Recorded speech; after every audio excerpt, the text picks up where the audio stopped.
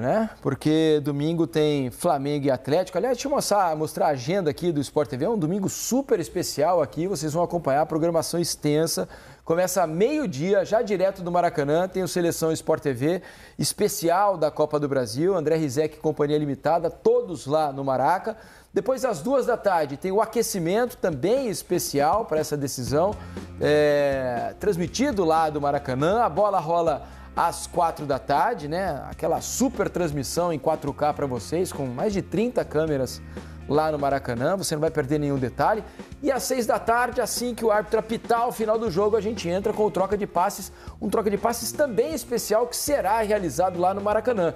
Estaremos lá, eu, Alex e Carlos Eduardo Mansur, com toda a equipe. Então nos recebam bem aí no Maracanã. Mansur deve estar um lá já. Um programa muito especial, certo? Muito especial para vocês no domingão. Então é um domingo especial é, para flamenguistas, para torcedores do Atlético, né? Então todo mundo vai estar envolvido aí nesse domingo, certo? Vamos trazer informações dos dois times, então, antes dessa decisão. É, começando com a Ana Flávia Nunes, que traz tudo sobre o Flamengo. Chega mais, Ana! E aí, amigos do Troca, tudo bem com vocês? Boa noite a todos. Olha só, nossa equipe ficou aqui o dia todo em frente ao Ninho do Urubu, centro de treinamento do Flamengo, acompanhando, claro, a movimentação, de olho em alguma novidade. A equipe fez um treino hoje à tarde, tem um outro treino marcado para amanhã, 9 horas da manhã, e claro, o Flamengo focadíssimo, né, trabalhando, pensando nesse primeiro jogo da final da Copa do Brasil contra o Atlético Mineiro. A equipe está tentando deixar dois jogadores 100% recuperados e disponíveis para domingo. Eu estou falando do Davi Luiz e também do Alexandro, né? O Davi Luiz vinha com algumas dores no tornozelo. O caso do Alexandro era um desconforto no músculo posterior da coxa direita. Então tudo indica que o Davi Luiz volte então a ficar disponível no banco de reservas no domingo e há muita expectativa com relação ao retorno do Alexandro ao time titular. Ele que desfalcou o Flamengo por dois jogos, né, por causa desse desconforto na coxa direita. É importante a gente lembrar que o Flamengo tem dois jogadores suspensos para esse primeiro jogo da final da Copa do Brasil. Bruno Henrique e Pulgar, então, não vão jogar. E o Flamengo também não pode escalar o, o, o, Carlinhos, né? O Carlinhos, ele já jogou a Copa do Brasil pelo Nova Iguaçu, então, por causa dessa regra, ele não pode ser escalado. Vamos relembrar também a situação dos lesionados, né? Não jogam porque estão machucados. Pedro, Vinha, Cebolinha, Luiz Araújo e também o De La Cruz. Havia uma preocupação inicial com a situação do Gerson, porque depois do empate com o Internacional, o Gerson deixou o campo muito cansado, né? Mas está tudo certo com ele, o Gerson Gerson não preocupa para domingo, então diante de muitos desfalques essa informação é bem importante, né? Claro que a expectativa para esse jogo é altíssima. Até agora, mais de 55 mil ingressos foram vendidos para essa primeira partida da final. Expectativa de casa cheia, Maracanã vai estar lotado. E é claro que a gente vai seguir acompanhando toda a movimentação, todo o clima desse jogo, trazendo todas as informações para vocês. Combinado? É isso, meus amigos. Abraço. Valeu, Ana. Obrigado pelas informações. Vamos ouvir tudo sobre o Galo agora com o Rodrigo Rocha, que chega agora no Troca de Passe. Fala, Rodrigo. Oi, Diniz. Boa noite para você, amigos do Troca, para todo mundo que está acompanhando o Sport TV. O Atlético fez nessa sexta-feira o seu penúltimo treino na preparação para essa partida contra o Flamengo. Treino com informações e novidades importantíssimas. O meia Matias Zaratio, fora do time desde o dia 20 de agosto. Ele fez uma cirurgia para corrigir uma hérnia do esporte. Está de volta ao Zaratio. Quem também volta ao time, Bernard, fora desde 25 de setembro, quando se machucou na partida contra o Fluminense pela Copa Libertadores. Ele teve um problema no ligamento e foi liberado também pelo departamento médico. Os dois se juntam à delegação do Atlético Mineiro. Nesse sábado pela manhã, o clube faz o último treino antes da viagem, ainda aqui em Belo Horizonte, no seu centro de treinamento. A viagem para o Rio é às 5 horas da tarde. Para o jogo de domingo, são esperados 4 mil torcedores do Atlético no Maracanã, no setor visitante. E aqui em Belo Horizonte, na Arena do Atlético, a esplanada vai estar aberta. O Atlético disponibilizou ingressos gratuitos para o seu torcedor. Vai ter show também, shows musicais e promete uma festa bacana com telão transmitindo o jogo, tudo ao vivo para o torcedor acompanhar da sua casa o jogo contra o Flamengo.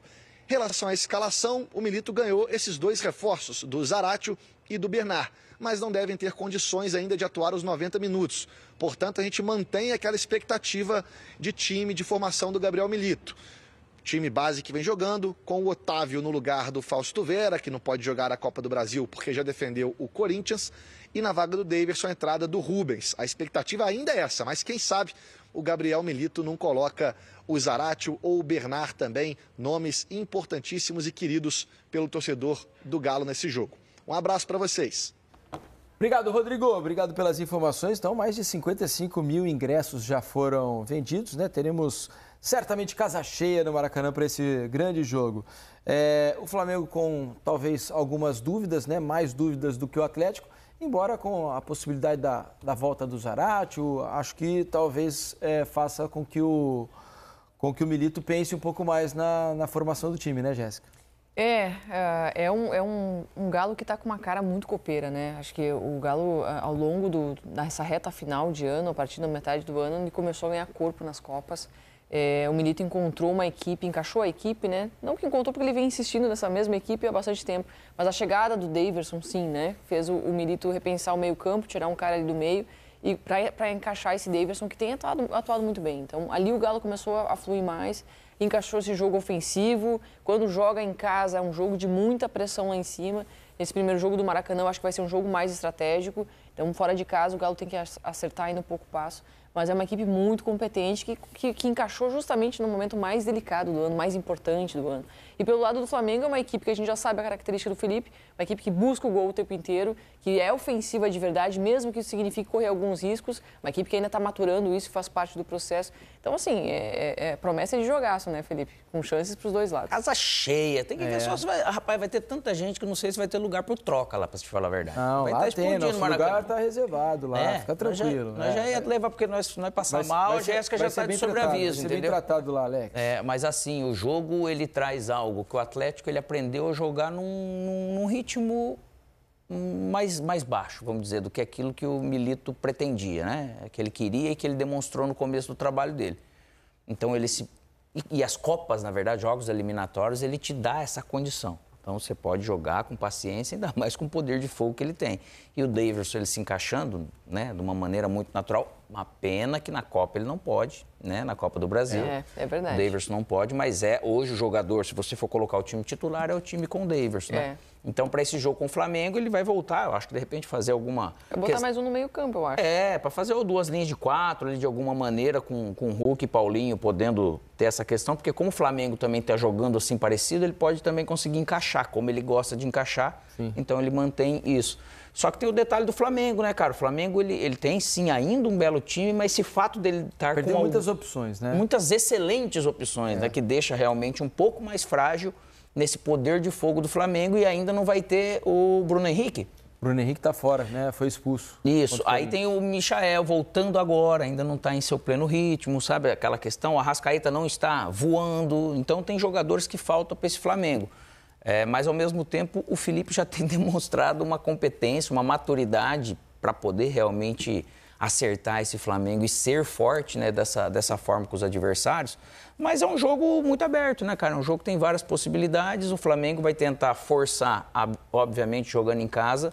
Mas é óbvio que ele vai ter também um encaixe, vai ter que tomar um cuidado. E Mas o fato de não ter o Daverson hoje contra o Atlético, eu acho que também é um ponto positivo para você, de repente, melhorar Flamengo, essa né? condição de você se encaixar nele. Além do Bruno Henrique, o Pulgar também está fora, né? Os dois suspensos não jogam esse primeiro, essa primeira partida decisiva e que provavelmente, da Copa do Brasil. E provavelmente ele deve pôr o Ortiz um passo à frente, né? Acho que seria...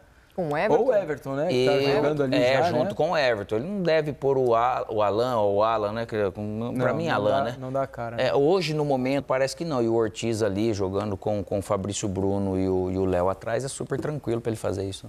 É isso aí. É grande jogo no domingo, então, hein? Com grande cobertura aqui do Sport TV ao longo de todo o dia, certo? Intervalo aqui no Troca. Já...